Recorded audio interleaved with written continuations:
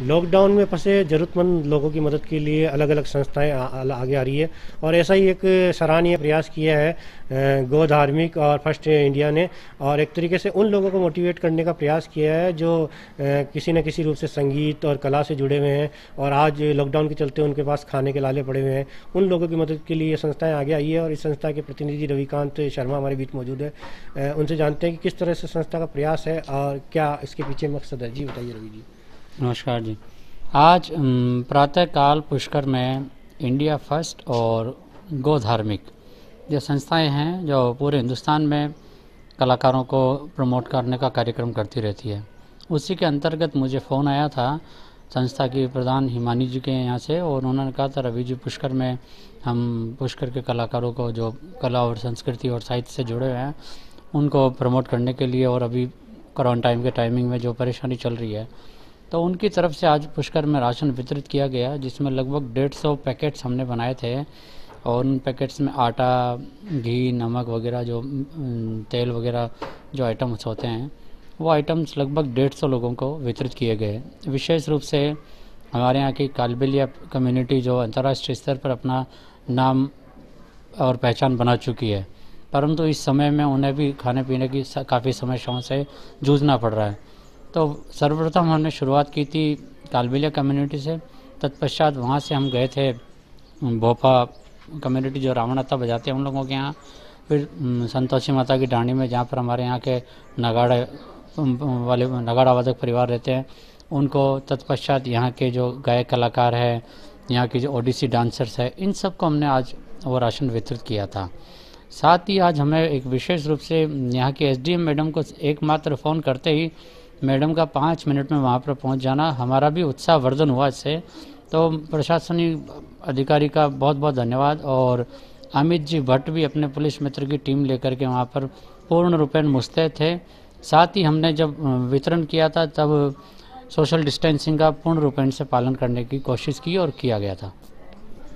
तो ये थे रविकांत शर्मा जो कि बता रहे थे कि स्थानीय संस्थाओं के साथ साथ अब देश की ऐसी बड़ी संस्थाएँ जो देशव्यापी है या विश्वव्यापी है वो भी आगे आ रही है और ज़रूरतमंदों की मदद के लिए लगातार आगे कर, मदद कर रही है। उनसे जानते जी बताइए क्या है?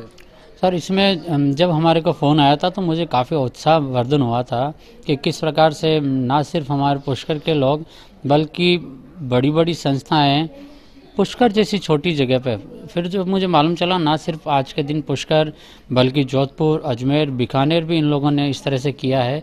और आज मेरी पूरी जो टीम लगी हुई थी, उसमें मौसम जी, आशुतोष जी शर्मा और नरेंद्र सोलंकी और साधुनाथ कालबेलिया, इनका बहुत बहुत सहयोग रहा। उनकी वजह से ही आज इस कार्यक्रम को पूर्ण रूपेण से अच्छी तरह से हमने उसको संपादित किया था। तो रविकांत जी कह रहे थे कि संकट की ये घड़ी है और जितना भी जो संस्थाएँ आगे आ रही है, उनको निश्चित रूप से आभार, धन्यवाद व्यक्त करना चाहिए। साथ ही उन्होंने जो फंड अधिकारी है और टीम पुलिस मित्र है, उनका भी आभार व्यक्त किया है, जो कि सेम टाइम में वहाँ मदद के लिए पहुँचे हैं और वहाँ पर मौजूद रहें और सोशल डिस्टेंसिंग का ध्यान रखते हुए पूरी कवायद को अंजाम दिया गया है। पुष्कर से दिलीप नागरा के साथ Sitaram Parashar, Swami news. Covid nineteen के लॉकडाउन थ्री में सरकार लोकल प्रशासन, पुलिस और मीडिया कर्मी और सभी भामाशाहों का बहुत अच्छा सहयोग रहा है। सब लोग अपने तरफ़ से अपने कर्तव्य पूरे कर रहे हैं। पुष्कर के जो कच्ची बस्तियाँ इलाके हैं और जो आसपास के एरियाज़ हैं, जो नगर पालिका पेरीफ्री में है, जो रेलवे फाटक और इधर रेत के धोरों में भूपों की बस्ती या कोई दूसरी इस चीज़ को देखने के लिए आज थोड़ा प्रयास किया गया है कि कोई भूखा नहीं रहे। पुष्कर में किसी प्रकार से किसी को भूखा सोना नहीं पड़े। उसके लिए एक राउंड लेकर के पूरा सबसे बातें करी गई, लोकल से बात की गई। उनको पर्याप्त मात्रा में राशन सामग्री सरपंच द्वारा, लोकल पार्षद द्वारा या फिर एमएलए लैड से पहले और उसके बाद जो प्रशासन द्वारा, राज्य सरकार द्वारा वितरण की गई है। समय पर उनको सबको वितरित हुई है। आज भी भामाशाह द्वारा इनको करीबन डेढ़ सौ, दो सौ पैकेट इन बस्तियों में बांटे गए हैं सूखी सामग्री के। तो यही हमारी मंशा है। आप सबसे अपील है कि पुष्कर में कोई भूखा नहीं रहे और सभी आगे आए, जिस प्रकार अभी तक भामाशाह आगे आए हैं, आगे भी सब सहयोग रहें और सेफ़ रहें स्टे होम